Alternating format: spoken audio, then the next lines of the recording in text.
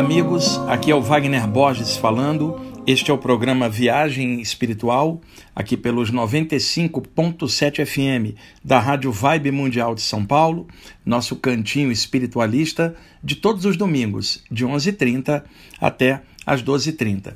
Pessoal, nos dois programas anteriores, eu passei para vocês um mini curso com apontamentos conscienciais profundos. Esta é uma das formas que eu tenho de contribuir nos estudos espirituais de vocês, projetando temas profundos, mesmo numa época difícil e conturbada como esta que nós estamos vivendo.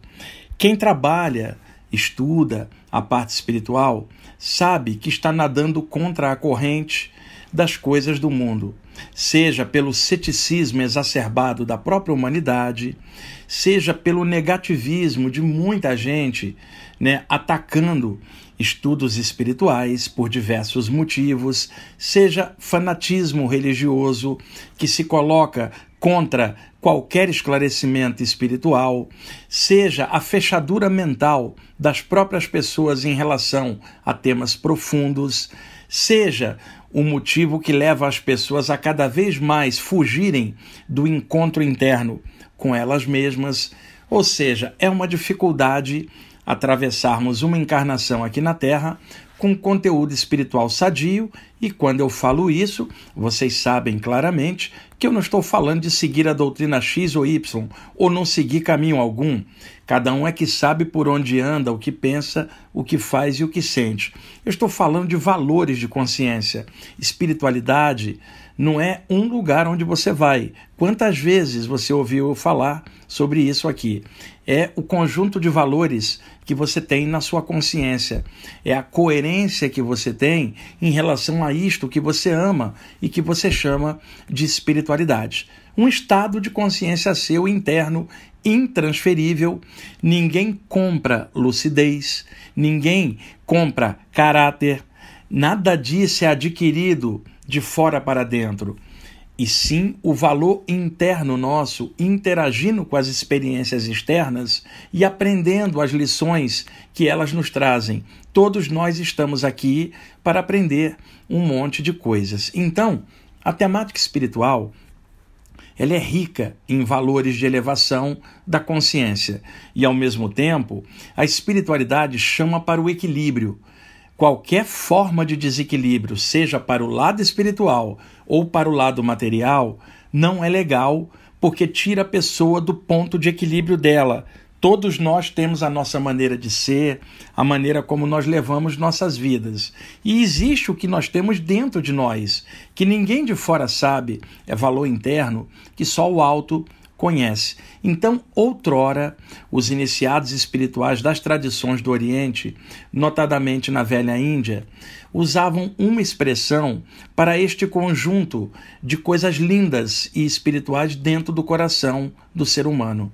A palavra que resumia isto em sânscrito era esta aqui, arta, Arta significa a riqueza dos iniciados espirituais, os valores pelos quais o iniciado honra sua trilha na senda da vida, outrora uma trilha interna dentro dos templos espirituais de outrora, atualmente uma trilha externa no mundo atual, nas vivências naturais com todas as pessoas.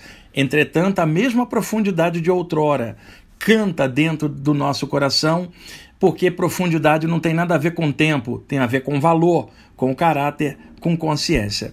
A palavra arta se resume nisto tudo. Então eu peguei um material de uma palestra que eu fiz uma ou duas vezes ao longo dos anos no IPPB, extraí uma parte como uma síntese para compartilhar com vocês, ainda na pegada dos dois programas anteriores, mas com outro material agora. E lembrem-se, é difícil fazer uma exposição dessa por uma rádio, onde vocês não estão me vendo, não estão vendo imagens projetadas num data show para ilustrar a apresentação. Então eu tenho que me esforçar mais para didaticamente deixar tudo claro, explicar direitinho as coisas para vocês. Essa é a minha tarefa aqui. na, na Rádio Vibe Mundial, de passar o melhor conteúdo que eu puder, sabe? Eu me sinto muito bem de compartilhar isso, é aquilo que eu mais amo e ao mesmo tempo sei que vocês que escutam o programa, cada um tem sua maneira de ser, cada um segue algum caminho espiritual de acordo com o seu próprio temperamento e inclinação, tem outros que não seguem caminho algum, e no entanto, espiritualidade é algo é, em geral, não é algo em particular de uma área ou outra. Espiritualidade, como eu falei, é valor.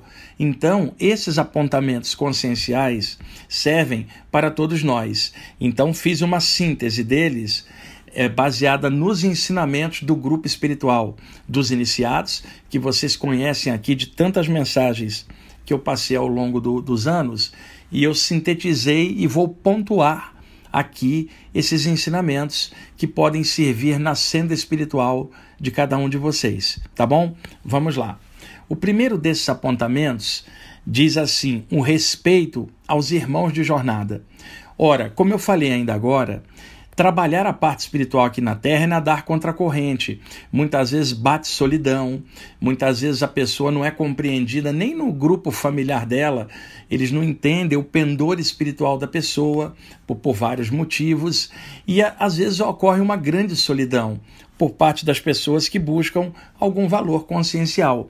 Então, é importante que nós nos consideremos irmãos de jornada, todos nós que estamos estudando e trabalhando com a parte espiritual. Não me importa se você que está me ouvindo é espírita, umbandista, ocultista, teosofista, é, é, não me interessa a sua linha.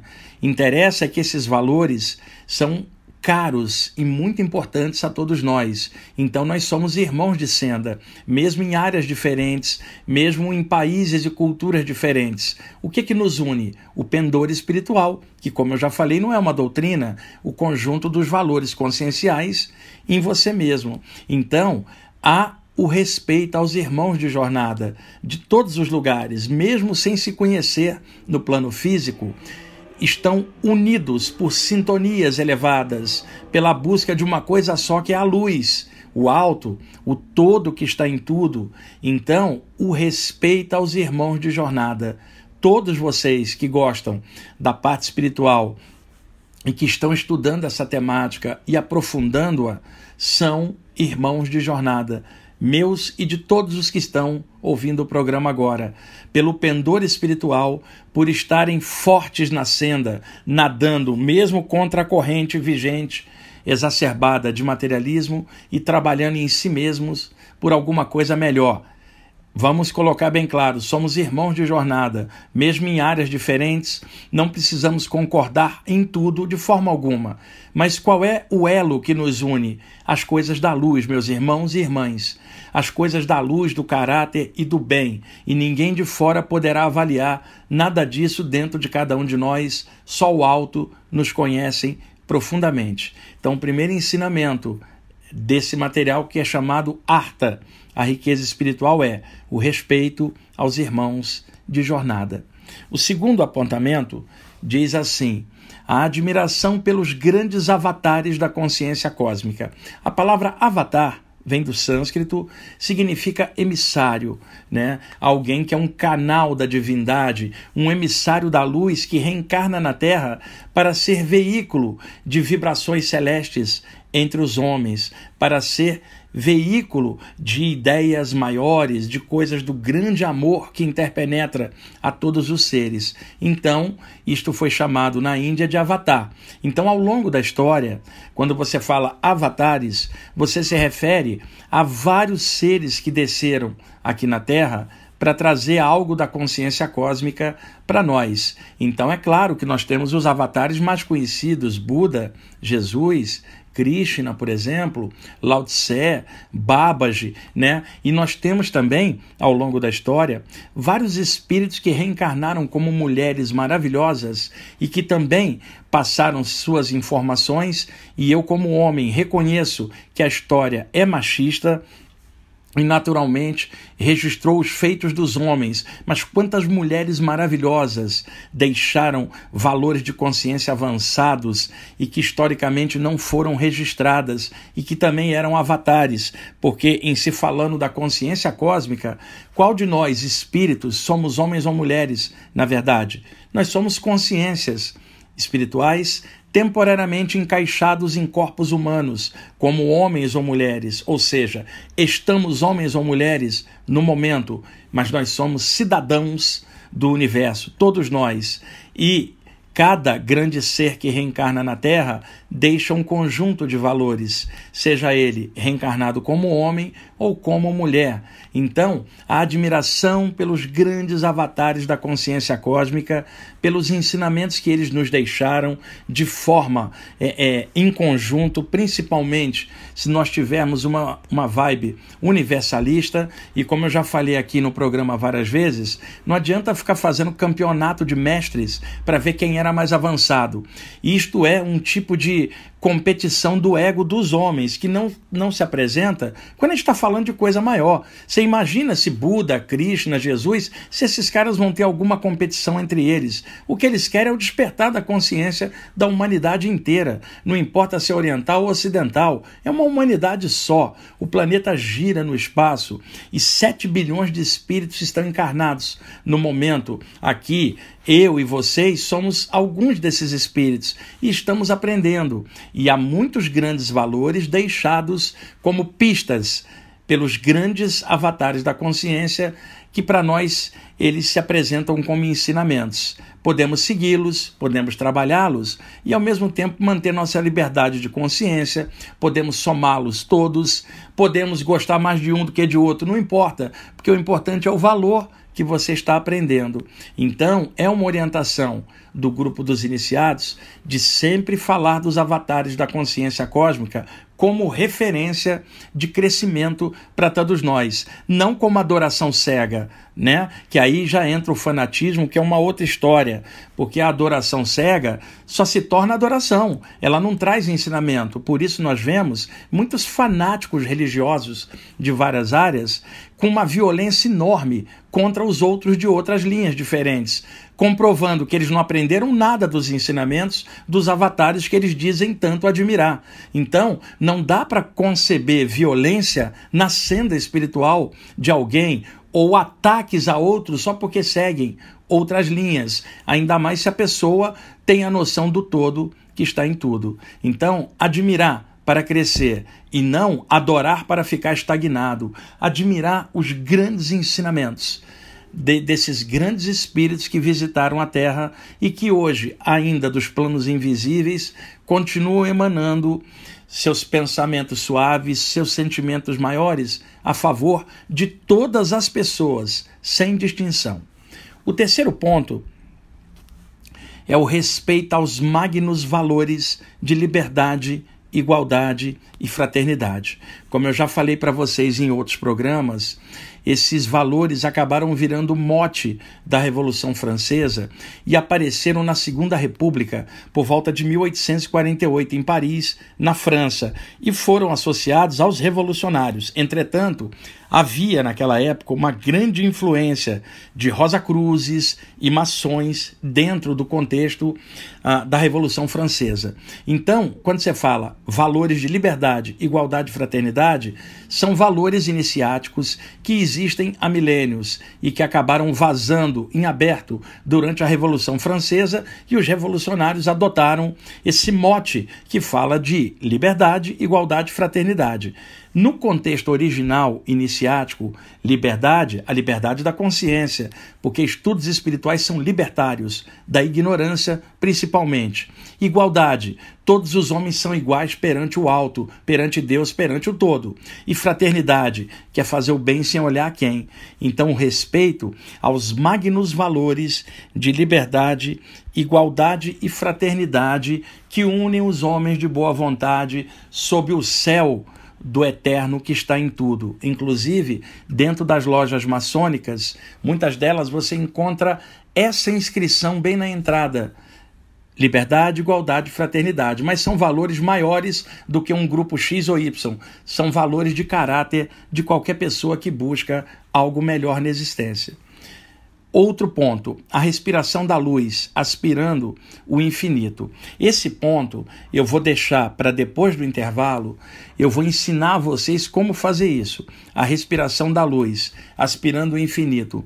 É uma pequena prática yogi, que também os ocultistas conheciam, de captação de energias superiores, principalmente na hora de deitar.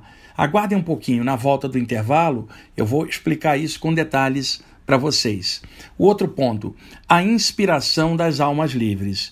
Pessoal, é, muitos discípulos cegos e fanáticos acham que seus mestres estão nos píncaros do plano mental, lá no alto e que não veem nada que se passa aqui no mundo, que estão desligados das provas aqui da Terra e que estão habitando planos da pura luz. Pessoal, isto não é verdadeiro. As grandes almas se preocupam muito com os homens, assim como irmãos maiores se preocupam com seus irmãos menores, levados e turbulentos. Então havia uma expressão que era usada em sânscrito que a teosofia adotou, que é a expressão nirmanakayas. Nirmana significa os irmãos maiores. Kaya é uma palavra do sânscrito que significa corpo. Por exemplo, você fala assim: corpo de médicos, corpo de bombeiros, corpo policial. Então você fala corpo de almas livres. Então você chama Nirmanakayas, quer dizer, um conjunto de almas livres, de seres elevados, de auxiliares invisíveis que ajudam secretamente a humanidade. É claro, não podem se meter nas nossas atitudes daqui pelo livre-arbítrio de cada um, mas eles procuram sempre vibrar alguma coisa melhor. Aliás, eles nem teriam como fazer diferente, porque consciências elevadas são elevadas por isso, são incapazes de violência, são incapazes de qualquer coisa medíocre. Eles irradiam coisas suaves, não são deuses, mas são consciências elevadas quando comparadas aos seres humanos. E como o universo é infinito, essas almas livres se espraiam pelo infinito em planos cada vez mais avançados, né? Mas existem aquelas que permanecem próximas dos homens, invisivelmente, segurando a onda, né? Atuando secretamente, serenamente, anonimamente, ajudando a todas as pessoas é, é, em geral. Então foi por isso que o Shankara o Yogi, do século 8 depois de Cristo, quando escreveu o livro Viveka Chudamani, que é um clássico do hinduísmo, a tradução seria A Joia Suprema do Discernimento. Quando ele escreveu esse livro, ele estava muito inspirado e ele adotou o nome de Shankara, que é um dos nomes do deus Shiva, que seria é, aquele que é o gerador das bênçãos, aquele que abençoa, né? O Shankara, o Senhor da compaixão, aquele que abençoa a todos. Então ele adotou o nome de Shankara e quando perguntaram a ele, você se acha mesmo Shiva, Shankara? Falou, não, é que quando alguém me chama de Shankara ou quando eu lembro do nome Shankara, eu lembro da compaixão que eu devo exercer e como eu devo me abrir minha coração, meu coração e abençoar tudo e todos. Então, inspirado, né, Shankara disse: há almas livres, tranquilas e magnânimas, que como a primavera fazem bem a todos, ajudam os homens na longa travessia das existências seriadas pela Terra e por outros orbes. Ajudam a todos somente por amor, sem nada esperar. E são estas almas livres que sempre ensinam que há uma luz que brilha mais do que bilhões de sóis juntos e que esta luz é a que mora no coração. Então vocês reconhecem essas palavras como as vinhetas de abertura e fechamento desse nosso programa Viagem Espiritual. Eu tirei-as do grande Shankara, lá do Viveka Chudamani. Então, a inspiração das almas livres é um dos ensinamentos dos iniciados, que era o que o Shankara chamava de almas livres e que agora eu estou reproduzindo e adaptando para vocês. Vamos lá. O outro ponto, os devas e os solos sagrados. Já falei dos devas para vocês em outros programas. Seres de uma evolução diferente, seres espirituais avançadíssimos que operam no invisível da natureza e que ajudam a evolução de todos os seres também. E se dizia na antiguidade, não somente no Oriente, mas também nos grupos ocultistas ocidentais, de que em cima de cada templo havia um Deva protetor, né? Porque ali era considerado solo sagrado. É claro que uma pessoa fanática, ela acha que solo sagrado é só o templo da linha ou religião que ela segue e que os outros lugares não são solos sagrados porque são de outras linhas. Isso não é verdade. Espiritualmente, um ambiente que tem um campo de luz coletivo, consagrado e voltado para o bem e para a luz, tem uma atmosfera sadia em volta, uma egrégora, não é isso? Uma atmosfera espiritual virtuosa. Cada atmosfera virtuosa, cada egrégora, tem um Deva que opera sobre ela, toma conta dela, né? É, é, deixa a marca espiritual dele nela. Então é claro que os templos de outrora, iniciáticos, tinham um Deva sobre cada um deles. Muitas vezes, alguns dos templos, principalmente na velha Índia, não eram templos constituídos de parede, era dentro de uma caverna, por exemplo, do Himalaia. Ali tinha um Deva. Por isso que na Índia, o grande Ramana Maharishi, no século XX, falava da montanha de Arunachala e que havia um Deva por cima, que ali era sagrado. Então, os iniciados sempre falaram de que por cima de cada ambiente luminoso há um Deva. Agora, hoje, nesses tempos nossos modernos, quantos de vocês estão em casa fazendo uma vibração a favor da humanidade e ninguém sabe. Você senta quietinho, quietinha, faz sua meditação, ativa seus chakras, expande seu campo energético e irradia em silêncio uma luz a favor da humanidade inteira. Os mentores espirituais, invisivelmente, captam essa luz e levam para pacientes em hospitais. Captam essa luz e levam para desprender espíritos pesados que estão agarrados na atmosfera da Terra, nas obsessões espirituais. E nem você mesmo que está fazendo a irradiação sabe disso, porque a sua irradiação, ela beneficia o mundo de formas admiráveis e secretas que nem você mesmo sabe. Então, é possível de que uma pessoa que a casa dela seja solo sagrado. Por quê? Todo dia ela irradia uma luz silenciosamente a favor do bem de todos. Se torna um ambiente espiritual maravilhoso, mesmo que ela esteja ali sozinha. E esse sozinha, entre aspas, porque tem a presença dos mentores espirituais que vão trabalhar a energia dela para assistência espiritual, às vezes bem longe, em lugares que ela não tem ideia. E nestes ambientes, que são as casas de alguns de vocês, os apartamentos de algum de vocês, os seus lares, pode ter um Deva neste presente momento, porque aí você vem fazendo suas preces, vem irradiando sua luz. Outrora, isso era considerado só em templos mesmo, de várias linhas, mas Observa agora, nós estamos vivendo a, a, época moderna da humanidade. Nós não moramos dentro de templos iniciáticos, moramos em cidades. Então, eu estou aqui no meu apartamento, no quinto andar, aqui numa rua da, do bairro da Saúde, tem gente em cima, gente embaixo. Mas cada ambiente tem a sua vibração, a sua energia. E um lugar onde tem a presença da luz e se faz coisas legais, tem devas que de vez em quando dão um pulinho ali e consagram invisivelmente o ambiente, mesmo que seja a casa de uma pessoa que mora numa cidade, sabe, moderna, os vizinhos não sabem, nem a família às vezes sabe o que, que você faz na sua meditação ou na sua irradiação de energia silenciosa na sua casa, mas o alto sabe e envia mensageiros secretos, invisíveis, que consagram o seu ambiente pela luz, não é em nome de alguma religião, não é em nome de algum guru, não é, o nome, não é em nome de ninguém, simplesmente em nome da paz que você gera, em nome da luz que você irradia, em nome da prece silenciosa que você faz a, a, a favor de todo mundo em nome da luz que já mora no seu coração e a qual você honra todos os dias, fazendo sua prática secreta em casa, do jeito que você quiser, da sua maneira, mas fazendo e pontificando um momento de luz. Então, os devas não consideram se o lugar é um templo X ou Y com mil pessoas ou se é o quarto da sua casa com você sozinho irradiando algo bom.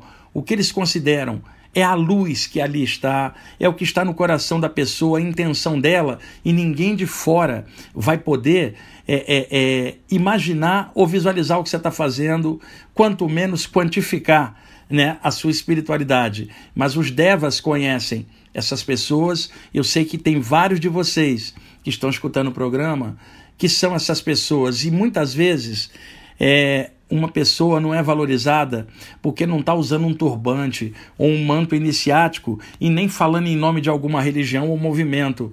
Simplesmente, se a pessoa é comum, normal, conversa com todo mundo, ninguém conhece o que está dentro dela. Mas os devas, os seres invisíveis, sabem.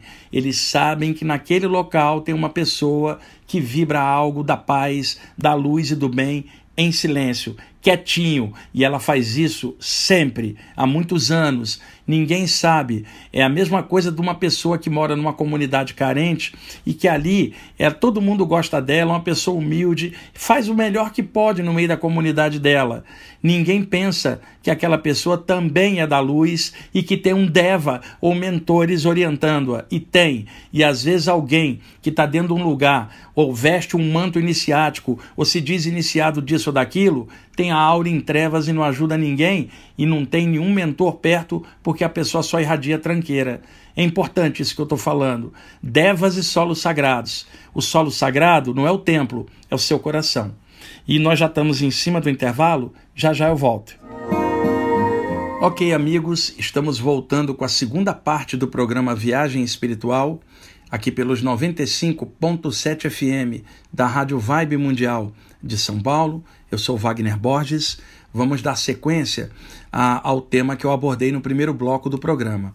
Já já eu ensino aquela prática para vocês, deixa só terminar esse conjunto de apontamentos conscienciais chamados ARTA, que é uma palestra que eu montei há muitos anos e eu resolvi selecionar os pontos pertinentes aqui para o programa são orientações do grupo dos iniciados que eu recebi ao longo dos anos e são chamadas de arta em sânscrito, ou seja, a riqueza espiritual.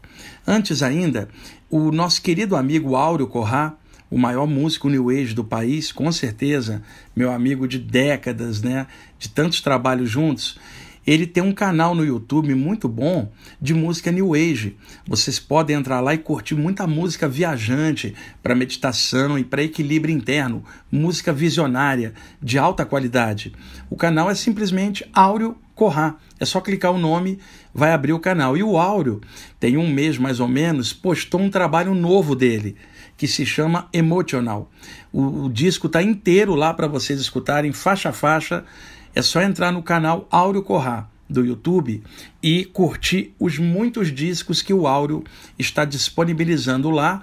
O Áureo também tem muita coisa no Spotify, ele tem canal também, ele tem no Instagram, ele tem Facebook, mas é no YouTube que ele está jogando é, o material dele assim em aberto. E quem quiser com uma qualidade de som melhor, busque no Spotify, por exemplo, porque lá a qualidade de som é melhor. Gente, música boa é uma das formas de espiritualidade, porque areja a nossa consciência, inspira, traz energias boas para a gente enfrentar as coisas aqui do dia a dia que não são fáceis, mas com música boa permeando os nossos sentidos, nós nos sentimos mais inspirados, mais fortes para seguirmos em frente na jornada. Vamos lá. Um valor muito importante, que é uma das riquezas dos iniciados, é a simplicidade dos viajantes espirituais. Muita gente pensa de que o avanço espiritual é, tornará ela especial em relação à maioria das pessoas. E isto não procede. Na verdade, à medida que a pessoa vai avançando, a compreensão dela para com os outros vai aumentando e ela vai se tornando cada vez mais simples, mais natural. Ela não vai parecer diferente, nem vai se achar superior aos demais porque isso aí seria um arrobo de arrogância e não uma elevação consciencial. Então é, é importante caminharmos com simplicidade. Grandes mestres, grandes seres, eles não eram do jeito que nós imaginamos. Você já imaginou um cara igual o Buda? ou Krishna ou Jesus arrogantão? Não. Você já imaginou algum deles assim, sai para lá que eu sou elevado e você não? De jeito nenhum. Então eles eram simples, naturalmente transbordavam o seu nível de consciência pelas atitudes, tranquilamente. Então, nós não precisamos de uma imagem especial ou de uma roupa diferente simplesmente para sermos o que nós somos, né? O nosso caráter não tem roupa, é o caráter, é valor. Então, vamos trabalhar com simplicidade, sem arrogância, sem achar que é melhor do que ninguém porque estuda algum conteúdo espiritual, ajudando os que sabem menos, com o conhecimento que a gente está buscando, a gente pode compartilhar com os outros para que eles sejam felizes também com este conhecimento, possam transbordar coisas boas iguaizinhos a gente mesmo. É tão legal a parte espiritual que é muito bacana a gente saber que a gente está nela, atravessando uma vida como estado de consciência nosso. Simplicidade na jornada, isso é essencial para nós todos. Outro apontamento que eu gosto muito, ele fala assim, de todo o coração. Então era uma expressão hermética que falava assim: o que você for fazer, faça de todo o coração. É algo igual alguém fala assim: faz com a tua alma, né? É, faz com toda a tua essência. Não faz isso pro forma ou só por obrigação. Então se diria: faça isto de todo o coração, ou seja, o teu ser inteiro está naquilo. Deixa-me dar um exemplo. É uma reunião espiritual que você gosta, que você frequenta. É aquele dia da reunião e aí você já levanta e fala: hoje é especial, é o dia da reunião daquilo que eu mais amo. Vou encontrar meus amigos de jornada numa reunião e vamos fazer o melhor possível. Que dia especial! Veja, ela está de todo o coração naquele dia da reunião dela ou os outros dias também em que ela talvez possa ir. Né? É diferente de alguém que levanta naquele dia e fala assim: Pois é, hoje é o dia da reunião, tem que ir, é obrigação. Isso não é obrigação, isto é consciência. E se você não tiver contentamento e alegria com isso, é melhor nem ir, porque você estaria indo só pro forma, só por obrigação, sem coração. Então a expressão de todo o coração era muito usada por mestres espirituais para seus discípulos que diziam: Irmão, irmã, faça isso, ore de todo o coração, haja de todo o coração, respeite a luz de todo o coração, sabe? Vá para a meditação de todo o coração, vá fazer o bem de todo o coração, sabe? É, é uma coisa que é difícil entender isso intelectualmente, é uma coisa de alma para alma, de coração para coração. E há uma expressão que é um verdadeiro mantra, que era usado também por vários mestres, principalmente Jesus, usava muito isso. É a expressão que fala assim, em espírito e verdade. Eu, inclusive, utilizo essa expressão em muitos dos textos que eu escrevo. Eu aprendi isso com os mentores espirituais, em espírito e verdade. Jesus chegava e falava assim, em espírito e em verdade, em verdade te digo, em espírito, ou seja, quando ele fala em espírito, é que aquilo não é algo da mente do homem, não é algo é, do homem, mas sim da espiritualidade, do divino, que habita a casa secreta do coração. Tipo, isso é em espírito, não brinca com isso, isso é sua essência. E aí eu lembro da frase anterior, de todo coração. Era isso que Jesus queria dizer quando ele falava em espírito. E quando ele falava em verdade, verdade aqui na Terra não há verdade absoluta. O que é verdadeiro numa cultura pode não ser em outra cultura com valores diferentes. Então a verdade dos homens ela é relativa a cada cultura. Ela pode inclusive variar de acordo com a moda, né? De acordo com o conceito cultural daquele momento, enquanto que a verdade que vem dos planos maiores, a verdade do todo que está em tudo é absoluta, é o amor maior que interpenetra tudo. Isto não contém variação, não contém oscilação, isto é, o eterno permeando a tudo, em verdade, em verdade. Então, quando se fala em espírito e verdade, é uma afirmação de que aquilo é da luz e aquilo é a verdade do eterno sobre a verdade relativa dos homens. E aí agora eu posso juntar as duas expressões e falar de todo o coração, em espírito e verdade. Também o ensinamento da gente sempre manter a mente aberta, porque nenhuma área contém tudo, só Deus sabe tudo. Então não há ninguém que saiba tudo, menos eu, vocês também não, é, é, muito menos eu, né? E não há grupo que detém a verdade do eterno, só o eterno sabe tudo. Então mantenham a mente aberta, gostem de algum lugar, frequentem algum lugar, isso é legal mas sem fechar pacote, sem ficar com adoração cega. Abra a mente, some valores. Não significa que você está traindo a área que você gosta, significa que sua mente está aberta para o infinito, porque ao longo do eterno nós vamos ascensionando e cada vez a mente vai ter que abrir mais. Como é que uma mente fechada quer comportar a consciência cósmica e o infinito? Como é que uma mente trancada em si mesma quer acesso ao infinito? Não tem a menor lógica. A outra coisa importante que os mentores sempre orientam a nível de esclarecimento espiritual é algo que era chamado nos meios esotéricos de a matança do espírito e que outros chamavam de assassinato do eu. O que, que é isso? São os ataques à espiritualidade. Se chama de matança do espírito ou assassinato do eu, ou seja, tentar destruir tudo aquilo que vibra esclarecimento espiritual numa humanidade dessas tão exacerbado o materialismo e é nadar contra a corrente. Então, matança do espírito é a anulação da espiritualidade dentro da pessoa, ou assassinato do eu, ou seja, matar dentro de alguém o pendor espiritual para mantê-la na hipnose aqui do plano material, só dos cinco sentidos, é, comendo, bebendo, reproduzindo, copulando e morrendo sem sentido, e quando passa para o outro plano não sabe o que fazer, porque essa mente jamais tinha admitido a existência de algo além da matéria. Então, há muitas nuances dessa matança do espírito ou assassinato do eu, que é uma metáfora, é claro, simplesmente desde entidades trevosas que operam no astral inferior, contra a humanidade e contra qualquer forma de esclarecimento consciencial, atacando de vários níveis, desde pessoas altamente céticas que partem com tudo para tentar matar a espiritualidade do outro, desde pessoas revoltadas que antes seguiam algum caminho espiritual, hoje não segue, se volta contra e ataca com tudo, né? Existem várias nuances disso, desde a sua família pressionando você e falando não mexe com isso, sai fora, ou isso é do diabo. Tudo isto é uma tentativa de liquidar a espiritualidade. Só que, como espiritualidade é estado de consciência, não é um lugar, como é que alguém vai matar isso dentro de você? Então fique firme, você que gosta da parte espiritual, fique firme nessa senda, que eu vou repetir, não é doutrina ou lugar, é o seu estado de consciência, é o seu valor.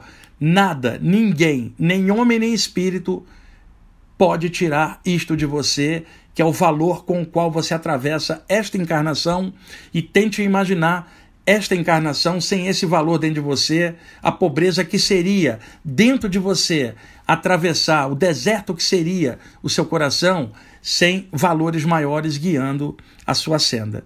E terminando este material, porque tem uma gravação que eu vou disponibilizar para vocês já já, é, a prática que eu me referi é o seguinte: é, sentado na sua cama, perto da hora de deitar. O ideal é que você faça sentado na cama e logo depois estica o corpo e deita na posição que você quiser. Entretanto, pode ser feito sentado no sofá ou meditando em outro momento. Mas na hora de deitar, isso é muito bom para criar uma proteção, uma sintonia maior durante o sono. Isto pode favorecer experiências extrafísicas para você durante o sono, conexão melhor com os mentores espirituais que orientam sua jornada, ou simplesmente uma noite de sono tranquila, uma vibe positiva em você. Sentado de olhos fechados, você ergue o pensamento e se liga ao infinito da sua maneira. Cada um tem seu jeitinho de se ligar ao eterno, seja pela prece, pela concentração, por qualquer via que você quiser, e olha que eu não estou dizendo para quem que você deve direcionar sua prece ou erguer o pensamento, porque para mim não me importa se você gosta de Jesus, Pai Joaquim, Iemanjá ou Buda, me importa que você erga o pensamento na direção de um valor maior que você respeita, porque neste momento isso muda a sua vibração, e tem gente que não segue referência nenhuma, pensa no Sol, pensa no universo, na grandeza da vida. Isto tudo ajuda a tirar o pensamento somente do plano material, ainda mais na hora de deitar, tão essencial para quebrar o padrão das ideias do dia a dia, atrapalhando o sono ou as experiências durante o sono. Então, de olhos fechados, o pensamento elevado, usando a capacidade da imaginação, visualiza uma pequena chuva de prata como se cada gotinha de chuva fosse energia cor de prata, energia prateada, uma chuva prateada descendo sobre você por cerca de cinco minutinhos, pessoal. O pensamento alto liga você a um plano maior. A visualização de partículas douradas, não melhor, prateadas, descendo sobre você continuamente, limpa a aura, porque a energia segue o que a gente está pensando. O pensamento elevado tira o nível da mente daqui do plano material e leva para outro plano. A ideia da luz descendo para você em partículas prateadas como uma chuva brilhante e o tempo inteiro essas partículas caindo como uma chuva em você, você serenamente é, sendo banhado por essa chuva de luz, né? Por uns cinco minutinhos, daí você estica e dorme. Este simples exercício era feito por iniciados ao longo da história na hora de deitar. E se vocês fizerem isso todas as noites durante uns três meses, vocês vão notar diferença nas coisas que rolam durante o sono para vocês. Mas só vão saber se praticarem. Então tá aí, eu estou repassando isso aí em aberto para vocês, uma pequena prática de serenar as energias, mas precisa erguer o pensamento antes, do jeito que você quiser e por uns cinco minutinhos manter, sem forçar a barra, uma chuva serena, uma chuva prateada sobre você, depois escorrega na cama, vira para a posição que você quiser e aí você entra no sono do jeito que quiser, ou experimenta uma saída do corpo.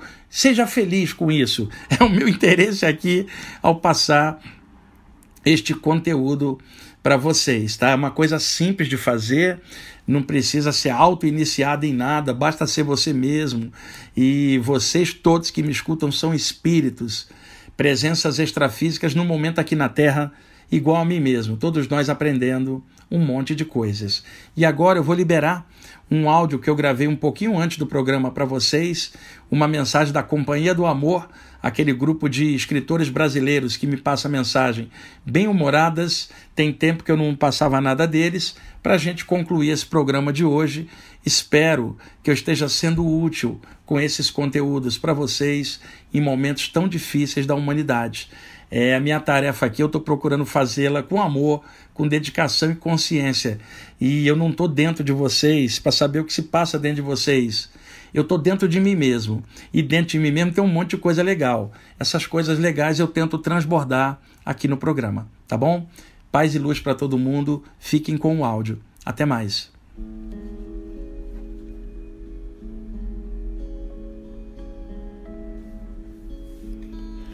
Eu vou compartilhar com vocês uma mensagem de dois espíritos da Companhia do Amor, que é um grupo de poetas e cronistas brasileiros desencarnados que me passa mensagens há muitos anos e já tem tempo que eu não compartilho nada deles aqui com vocês no programa Viagem Espiritual.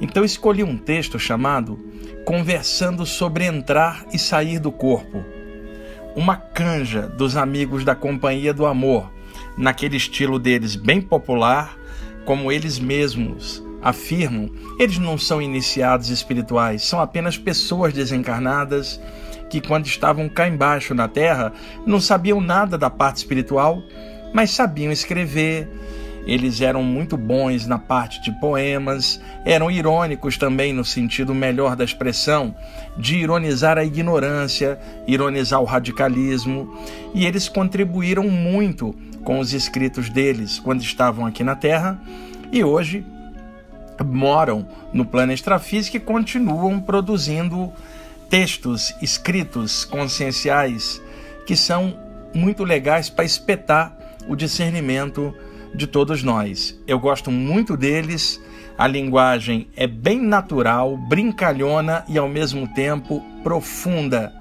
Então, eu quero dividir esse texto com vocês, é bem pertinente aos dias de hoje, então vamos lá.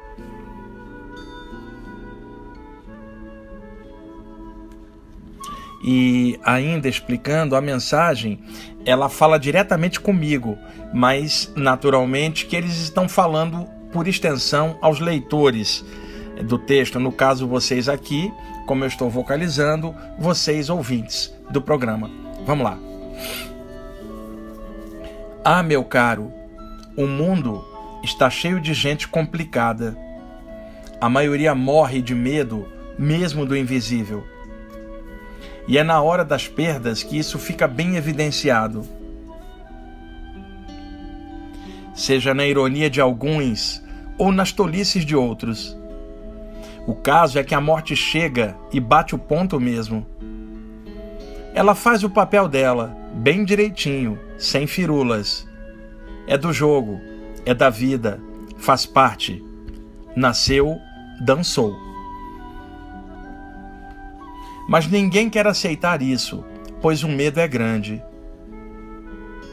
E isso é fruto direto da ignorância espiritual. E a morte não liga para o que os homens acham ou imaginam. Ela chega na marca do pênalti e converte o lance, sem máscara. E não adianta choramingar ou lamentar-se. Isso é do jogo.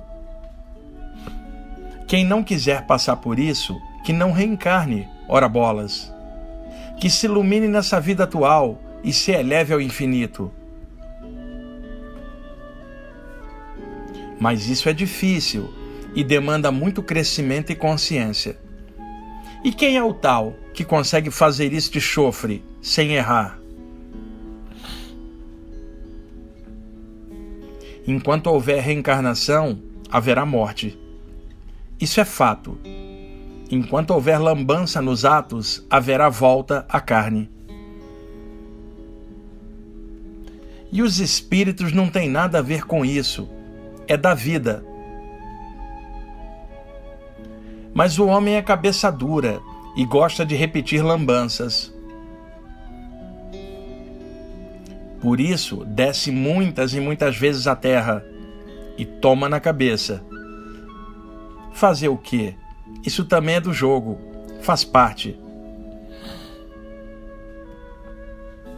O que entra no corpo, um dia sairá, e novamente entrará e sairá. E essa roda de viver, na terra e no astral, só cessa com a iluminação. As tolices e tonturas só cessam com o despertar da consciência. E isso leva tempo. Se pouco ou muito, isso depende de cada um. Mas quem irá compreender isso com lamentações ou ironias? Saudade boa de quem se foi é sentimento do coração e também é do jogo. Contudo, saudade revoltosa e que não leva a nada, essa é ruim mesmo. Ah, meu amigo, escreva mesmo que a morte não tem hora para chegar. Quem está vivo na carne, que fique esperto e desperto. A vida continua além da morte, mas continua bem para quem já está bem. Cada um leva dentro de si mesmo o cabedal do que pensa e faz na vida. E isso é justo. A cada um cabe aquilo que cultiva em si mesmo. Logo, quem quiser ficar mal após a morte, basta cultivar o mal em si mesmo. Paraíso ou inferno, cada um carrega o seu, bem dentro do próprio coração. Isso é da vida, é do jogo, faz parte. E assim também é além da carne. Cada um é o que é, se na paz ou em trevas, quem sabe. Então, meu caro, continue fazendo sua parte e escrevendo sobre a luz. E quando a sua hora chegar, não faça por menos, ria na cara da morte.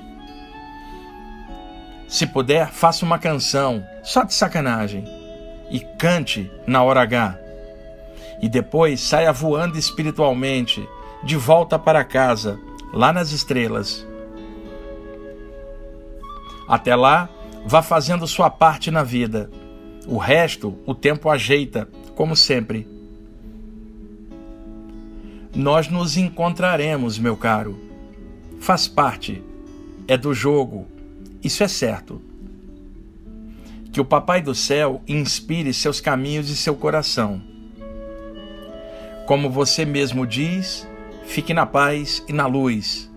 E não se esqueça de rir das tontices principalmente das suas. A vida segue, isso é certo. O amor também. Então, ame, e isso é tudo.